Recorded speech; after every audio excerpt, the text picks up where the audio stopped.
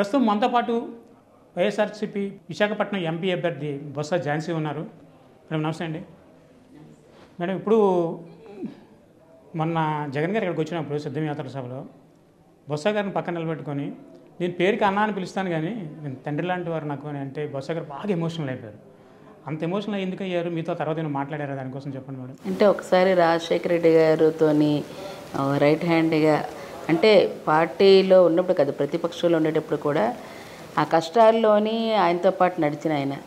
ముఖ్యమంత్రి ముఖ్యమంత్రిగా అయిన తర్వాత కూడా సత్యబాబు గారిని రైట్ హ్యాండ్గానే చూసి ఈ ఉత్తరాంధ్ర కాదు అక్కడే వెస్ట్ గోదావరి వరకు కూడా సత్యబాబు గారి మీదే మొత్తం అంతా రెస్పాన్సిబిలిటీ ఇచ్చి ఎవరిని పెట్టు ఎవరిని చెయ్యి గెలిపించుకుని తేవడం నీ బాధ్యత నువ్వే చూసుకొని అంత క్లోజ్గా ఆయన్ని తీసుకొని ఒక స్నేహితుడిగా అడ్వైజర్గా గైడ్గా రా రాజశేఖర రెడ్డి గారు చెప్పినవన్నీ ఒకసారి తండ్రిగా అనగానే ఆయనకి మరి చలించలేకపోయారు. ఆ మాట ఒక్కసారి గుర్తుకొచ్చి ఆయనతో అనుబంధం తండ్రి గారితో అనుబంధం ఒక స్నేహితుల్లాగా చూసి చేయటం ఇట్లాంటివన్నీ ఎన్నో గుర్తుకొచ్చి నిజంగా రాజశేఖర రెడ్డి గారే ఉంటే ఈరోజు జగన్మోహన్ రెడ్డి గారికి ఇంకా ఎంతో బలం ఉండేది.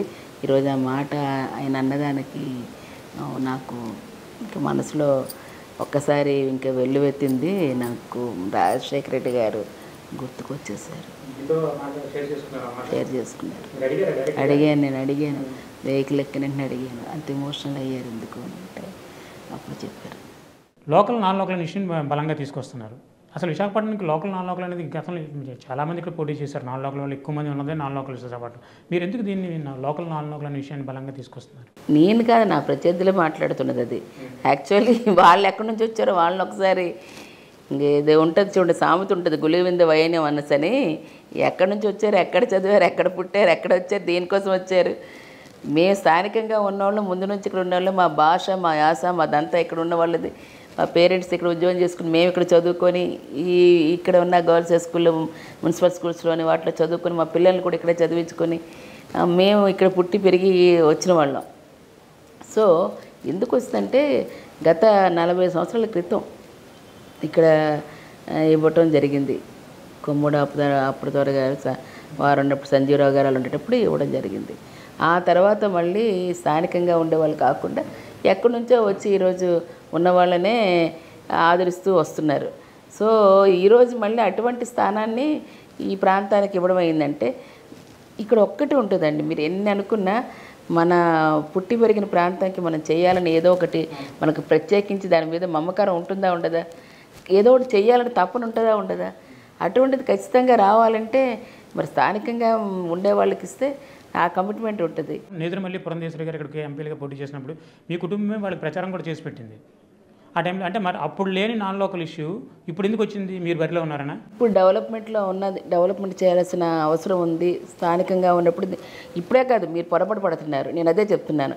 నేను బొబ్బిలి ఎంపీగా చేసినప్పుడు కానీ తర్వాత విజయనగరం ఎంపీగా చేసినప్పుడు కానీ వారు పట్టించుకున్నా పట్టించుకోకపోయినా స్టీల్ ప్లాంట్ గురించి మాట్లాడడం దీనికి బీహెచ్ బీహెచ్ఎల్ మా మాట్లాడడానికి షిప్ యార్డ్ ఆర్డర్స్ గురించి మాట్లాడడం దేనికోసమని.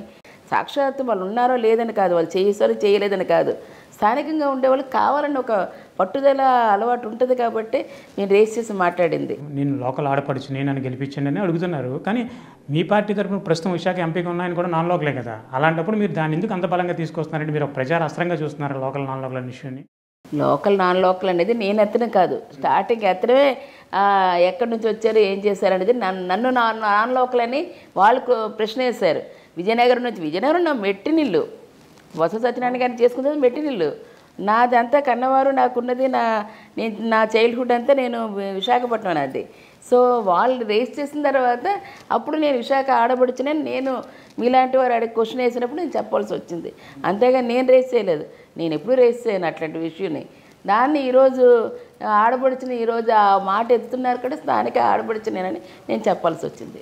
మేడం ఇప్పుడు విశాఖపట్నానికి ఒక ఎంపీ అభ్యర్థిగా మీరు ఏం హామీ ఇస్తారంటే ఇండస్ట్రియల్ గ్రోత్ ఇలాంటి విషయాల్లో. విశాఖపట్నం అంటేనే పారిశ్రామిక నగరం.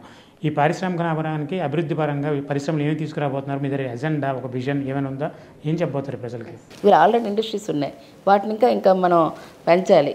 దానికి సంబంధించిన పబ్లిక్ సెక్టర్లో ఉన్నది దాన్ని ప్రొటెక్ట్ చేస్తూ ఇంకా ప్రైవేట్ పరంగా వచ్చిన వాటిని కూడా వాటికి కూడా మనం ఇక్కడ ఉన్న అన్ని మౌలిక వసతులు ఇవ్వడం వల్ల రావటం అవుతాయి ఇప్పటికే సిక్స్ లైన్ రోడ్స్ ఏదైతే పోర్ట్ నుంచి వయా భీమ్లీ ఇంటర్నేషనల్ ఎయిర్పోర్ట్ వరకు సిక్స్ లైన్ రోడ్స్ అట్లాగే ఏవైతే ఉన్నాయో మెట్రో ట్రైన్ గురించి ఈరోజు చేయడం ఎంఎస్ఎంఈ ద్వారా ఇప్పటికే పదివేల కోట్లతో దానికి సంబంధించిన ఇండస్ట్రీస్ స్మాల్ స్కేల్ ఇండస్ట్రీస్ పెట్టేసి అందించడం.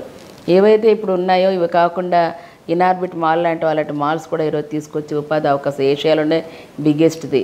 అది కూడా త్వరితగతిన ఉపాధి ఉద్యోగ అవకాశాలకి ఇవాళ సిద్ధంగా ఉంది. తక్కువ టైంలోనే ఇంకా దాన్ని కూడా రెడీ అవుతూ ఉన్నది. ప్రధానంగా ఉత్తరాంధ్రకి అవసరమైన రైల్వే జోన్ అట్లాగే స్టీల్ ప్లాంట్ ప్రైవేటీకరణ. ఇంకా చాలా ఇష్యూలు ఉన్నాయి. ఈ రెండు ప్రధానంగా ఉత్తరాంధ్ర వాసులు ఏళ్ళ తరబడి ఎదురు చూస్తున్నవి. అనుకోకుండా వచ్చిన స్టీల్ ప్లాంట్ ప్రైవేటీకరణ అంశం. ఈ రెండింటి మీద వైసీపీ పార్టీ ఏ స్టాండ్తో ఉంది? ఐదేళ్ళుగా మాకు ఇరవై ఐదు ఎంపీలను ఇస్తే మేము చేస్తామని జగన్మోహన్ రెడ్డి గారు మీ ముఖ్యమంత్రి గారు. వాళ్ళకి ఎక్కువ మెజారిటీ ఉంది. మనం ఏం చేయలేకపోతున్నాం. వాళ్ళకి మెజారిటీ తక్కువ వస్తే బాగుందని కోరుకోవడం తప్ప అని అన్నారు తప్పితే ఏమీ చేయలేకపోయారు. ఇప్పుడు స్టీల్ ప్లాంట్ ప్రైవేటీకరణ కూడా పెద్ద ఇష్యూగా మారింది. దీనిపైన మీ పార్టీ ఏం చేయబోతున్నారు? ప్రైవేటీకరణ రైల్వే జోన్ తేలేకపోతున్నారు అనేది ఇది నడుస్తుంది. దీనిపై ఏమంటారు? దాన్ని ఖచ్చితంగా ఇవాళ పబ్లిక్ సెక్టర్లో ఉంచాలి. కానీ ఎటువంటి పరిస్థితుల్లోని ప్రైవేటైజేషన్ చేయడానికి వీలు లేదని రెండుసార్లు మోడీ గారికి ప్రధానమంత్రి గారికి లెటర్ రాసి దాన్ని పెట్టడం జరిగింది. అసెంబ్లీలో కూడా తీర్మానం చేసి పంపించడం జరిగింది. ఎంపీలందరూ కూడా దాని గురించి అడగడంతో పాటు ఇక్కడ కూడా స్థానికంగా ఉన్న ఐటీ మినిస్టర్ కలిపి ఈరోజు నిరాహార దీక్షలు సమ్మెలు రాస్తా రోకలు అన్నీ చేసి ఇక్కడ ప్రాంత ప్రజలందరూ కూడా చేయడం వల్ల దాన్ని అంతవరకు అక్కడ ఆపెట్టడం అయింది. రైల్వే జోన్ ల్యాండ్ అయితే ఇచ్చేసారు కదండి వాళ్ళు కన్స్ట్రక్షన్. అది ఎప్పుడు జో అలా ఒకసారి ఉండండి. జోన్ ఎప్పుడైతే వాళ్ళు ప్రకటించారు ఎలక్షన్ ముందు జోన్ ప్రకటించారు అడావుడిగా బీజేపీ ప్రభుత్వం ఈరోజు ఏదో మళ్ళీ రాజకీయ లబ్ధి కోసం ఈరోజు జోన్ ఇచ్చారు. మీరు జోన్ ఇచ్చింది కూడా ఏమి ఇచ్చారు? వాల్టే డివిజన్తో కలిపి కేకే లైన్తో కలిపి ఉన్న రైల్వే డివిజన్ రైల్వే జోన్ ఇవ్వాల్సింది పోయి ఈవేళ అవన్నీ మీకు జోన్ ఇచ్చేస్తాం మీకు ఆఫీస్ వరకు మాకు ల్యాండ్ ఇస్తే చాలు అనుకుని జోనల్ ఆఫీస్ పెడితే సరిపోతుందా? కాదు కదా. దానికి సంబంధించినవి ఏవి ఉన్నాయో పూర్తి స్థాయిలో. ఈరోజు అత్యధికంగా రెవెన్యూ ఇస్తున్న ఇటువంటి వాటిని వీళ్ళంతా మీరు ఒక యూనిట్గా తీసుకున్నారు. సెంట్రల్ అంతా నేషనల్ అంతా ఒక యూనిట్గా కాదనట్లేదు. అలాంటప్పుడు ఈ ప్రాంతానికి కావాల్సిన స్టీల్ ఉంది కావాల్సిన వాటర్ సోర్స్ ఉంది కావాల్సిన మైండ్స్ ఉన్నాయి.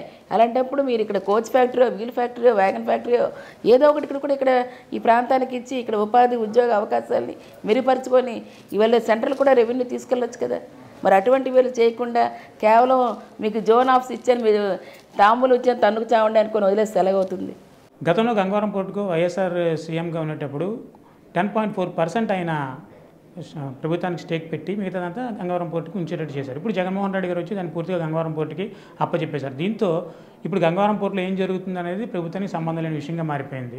అక్కడున్న మొత్తం అక్కడికి వస్తున్నది ఏదైతే బొగ్గు అన్నీ వస్తున్నాయో ఇవన్నీ కూడా స్టీల్ ప్లాంట్కి వెళ్ళకుండా అక్కడ కార్మికుల సమానత ఆగిపోతుంది ఇది కూడా స్టీల్ ప్లాంట్ మూతపడడానికి ఒక కారణంగా మారే అవకాశం లేదంటారు ఇలాంటి విషయాలు?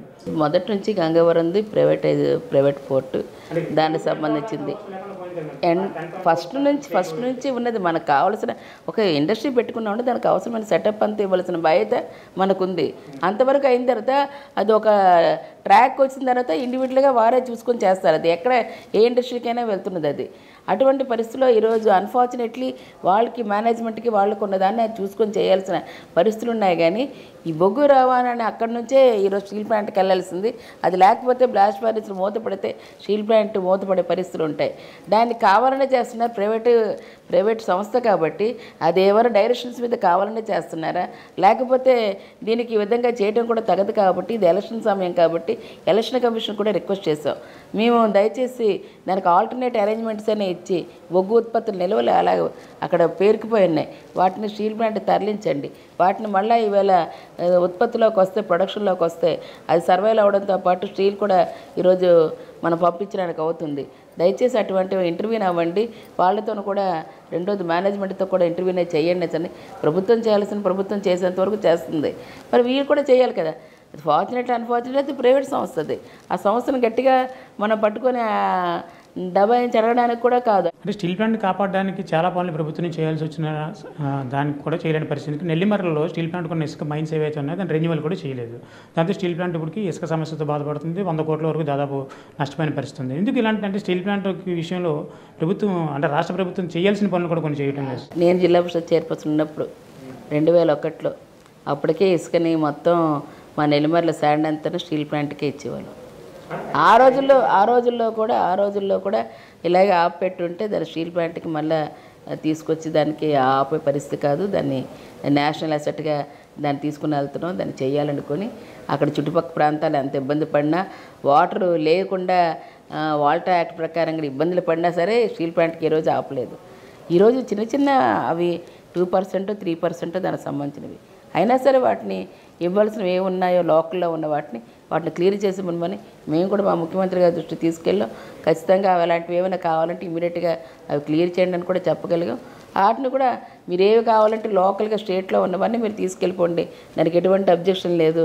ఎవరి రెన్యూలు రొటీన్గా అవి అయిపోయేటట్టుగా మేము కూడా పెడతామని చెప్పని వారు కూడా హామీ ఇచ్చారు. విశాఖపట్నానికి ఏం చేశారు? లేకపోతే మీ పార్టీ తరఫున ఉన్నప్పుడు మీ పార్టీలో వాళ్ళు కూడా తప్పులు చేసినప్పుడు ఏం మాట్లాడారంటే ఫర్ ఎగ్జాంపుల్ విజయసాయిరెడ్డి గారి మీద కానీ అలాగే వైవి సుబ్బారెడ్డి మీద కానీ ఇక్కడ లోకల్గా బోల్డ్ భూములు కబ్జా చేశారు వాళ్ళ కుటుంబ సభ్యుల పేరుతో చేశారనేది అనేక విమర్శలు వచ్చేవాళ్ళ వాళ్ళ మీద విశాఖపట్నం.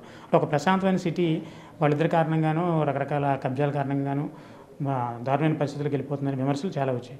ఇలాంటి టైంలో మీరైనా స్పందించారా? లేకపోతే ఇప్పటికైనా స్పందించే అవకాశం ఉంది వీటి మీద ఇలాంటి వాటి మీద మీరు చెప్తున్నాను ఫస్ట్ మొదట మొదటగా విండో నేను అలా కబ్జాలు చేశాను కబ్జాలు చేయాల్సిన అవసరం ఎవరికి ఉంటాయండి?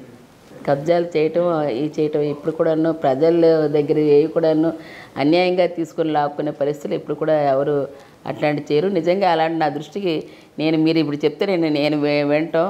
ఏదైనా గతంలోనే వచ్చి అన్నాయిలకే కట్టబెట్టారు అనుకొని చంద్రబాబు నాయుడు గారి పరిపాలన ఉండేది అంటే వారు వారు వారి తాలూకు వారి టైంలో ఉన్నప్పుడు అది ఎలాగ లీగల్గా ఎలాగ తీసుకోవాలో ఆ విధంగా కొనుక్కుంటారు కానీ కొనుక్కోవడం కబ్జాలంటే ఏమవుతుంది అది? విశాఖపట్నాన్ని క్యాపిటల్గా చేస్తున్న పరిస్థితులు ఉంటూనే ప పదమూడు రకాల ప్రభుత్వ భూముల్ని తాకట్టు పెట్టేసింది. అంటే ఒక పక్క ప్రభుత్వానికి భూమి అవసరం నిజంగా రాజధాని చేస్తే ఒక పక్క ప్రభుత్వమే తాకట్టు పెట్టేస్తుంది. ఎలా ఈ రెండింటిని చూస్తే సాధ్యమయ్యే పనిలాగా అనిపిస్తుంది? ఒక పక్క రాజధాని అంటున్న ప్రభుత్వమే మరో పక్క ఇక్కడ ఉన్న ప్రభుత్వ భూముల్ని తాకట్టు పెడుతుంది కలెక్టరేట్తో సహా. అవసరమైన దగ్గర చంద్రబాబు నాయుడు గారు ఉన్న కంపెనీలన్నీ మూతపెట్టి ఆయా ఏవైతే ఉన్నాయో ఇండస్ట్రీస్ అన్నీ మూతపెట్టి అమ్మేసి ఆ సొమ్ముని తీసుకొచ్చి కనీసం డెవలప్మెంట్ మీద కూడా పెట్టలేదు. దాన్ని కార్యకర్తలకు పంచడానికి పెట్టారు. ఈరోజు మా ముఖ్యమంత్రి గారు చేస్తుంటే ప్రజల సంక్షేమం కోసం డెవలప్మెంట్ కోసం ఆ కార్యక్రమాలు చేస్తూ వెళ్తున్నారు. ఖచ్చితంగా ఈరోజు మనకి ఈవేళ స్టేట్లోనే ఈవేళ బెస్ట్ తక్కువ అప్పులు తీసుకొని ఈరోజు ప్రజల సంక్షేమం కోసం డెవలప్మెంట్ కోసం చూస్తుంది ఈ ప్రభుత్వం. మీకు కూడా తెలుసు విడిపోయిన తర్వాత కరోనా కష్టకాలం వచ్చినప్పుడు కూడా ప్రజలందరినీ ఆదుకొని హెల్త్ వైజ్గా చూసుకున్నారు. ప్లస్ వారికి వెల్ఫేర్ కూడా చూసుకున్నారు. మరి అలాగే డెవలప్మెంట్ కూడా ఆపలేదు. ఈ రెండు సంవత్సరాలు పది నెలల్లో కూడా డెవలప్మెంట్ కూడా ఆపలేదు. మరి ఇది ఇది ముఖ్యమా? ఏమీ చేయకుండా అన్ని పరిశ్రమలు ప్రైవేట్ వాళ్ళకి అమ్మేసి మూత పెట్టేసి ఒక్క కంపెనీ కూడా ఉంచకుండా ఏది నడుస్తున్నాయి? మా sugar factory Bheemili sugar factory కానీ బోబిలి షుగర్ ఫ్యాక్టరీ ఈ షుగర్ ఫ్యాక్టరీలు అన్నీ అమ్మేశారు ఆయన. చెప్తున్నాను ఎగ్జాంపుల్కి. మరి అలాంటివి? ఇప్పుడు ఆ ఎసెట్స్ అమ్మేసి నేను దాన్ని ఎక్కడ పెట్టారు? ఈరోజు కొత్తగా ఈయన వచ్చి అడుగుతున్నారు. ఈయన తీసుకునేదే తక్కువ. వాళ్ళు ఇరవై రెండు శాతం అప్పులు చేస్తే మేము పదకొండు శాతం మాత్రమే వెళ్తుంది ఇప్పుడు. సీఎం గారి కుటుంబం కంటే మీ కుటుంబం బలంగా కనబడుతుంది. ఎలా అంటే మీ కుటుంబంలో నలుగురు బరిలో ఉన్నారు ప్రస్తుతం. బొత్స సత్యనారాయణ గారు బొత్స ఝాన్సీ గారు నెల్లిమర్గం నుంచి గజపతి నగర్ నుంచి బొత్స అప్పలనాసాయి గారు అప్పలనాయుడు గారు. అలాగే మరొక పర్సన్ జిల్లా పరిషత్ చైర్మన్గా ఉన్నారు చంద్రశ్రేణి అంటే సీఎం గారి కుటుంబంలో కూడా ఇన్ని సీట్లు మీకు ఎలా సాధ్యపడుతుంది మేడం? అంటే నాలుగు సీట్లు ఒకే కుటుంబం నుంచి. మేమంతా ప్రజలతో మ- ప్రజలతో మమేకమై ఉన్నవాళ్ళం. తర్వాత ప్రజలు మ్యాండేట్ ఇస్తేనే మేము పరిపాలించేవాళ్ళం. ఈవేళ బొత్స ఫ్యామిలీ అంటే ఒక భరోసా. ఎక్కడ కష్టం ఉందంటే ఆ కష్టానికి ఈరోజు నిలబడే వ్యక్తులుగా నేనే కాదు ఆ కుటుంబంలో ఎవరిని కదిపినా మీకు వా- అదే వాళ్ళే కనిపిస్తారు. ఏదైనా కష్టం ఉందంటే వెంటనే చేసి పెట్టడం. అర్ధరాత్రైనా అయినా అయినా వాళ్ళకి ఏ కష్టం ఉందంటే ఎవరో ఒకరు వెంటనే దానికి సంబంధించి రియాక్ట్ అయి చేస్తాం. అటువంటి దాన్ని ఉండబట్టి వీళ్ళు ప్రజల్లోని ప్రజలు మాకు మ్యాండేట్ ఇస్తేనే మేము ఈ పదవుల్లో ఉంటాం. సేవ చేయడానికి వాళ్ళు నీ సేవ చేయించుకోవడానికి మేము ఇస్తామంటేనే మేము చేయగలుగుతాం. లేదనుకుంటే అది విస్తృతంగా చేయగలుగుతాం. లేదంటే మా పరిధిలోనే మేము చేయగలుగుతాం. అది మేము తప్పితే మేమే నామినేట్ పోస్టులతో గట్టి ఇక్కడ కూర్చోలేదు కదండి. మేడం రాజధాని ఎప్పుడు మేడం ఇంతకీ? విశాఖపట్నం రాజధాని ఎప్పుడు? పరిపాలన రాజధానిగా ఖచ్చితంగా రేపు రానున్న ఎన్నికల్లోని ఘన విజయం ఈవేళ మీరు సిద్ధం బస్సు యాత్రలు చూస్తున్నారు ఇతరత్ర చూస్తున్నారు. ఎక్కడికి వెళ్ళి ప్రజలు అపూర్వ స్వాగతం బ్రహ్మరథం పడుతున్నారు. ఖచ్చితంగా నూటికి నూరు రూపాయలు మళ్ళీ ఈ జగన్మోహన్ రెడ్డి గారు ముఖ్యమంత్రిగా ప్రమాణ స్వీకారం కూడా విశాఖపట్నంలో చేస్తామని వారు చెప్పడం జరిగింది మీటింగ్లో. ఖచ్చితంగా అదే పరిస్థితి రేపు చూస్తారు. జూన్లో ఖచ్చితంగా ఇక్కడ ప్రమాణ స్వీకారం జరుగుతుంది. వచ్చినప్పుడు పరిపాలన రాజధాని వస్తుంది.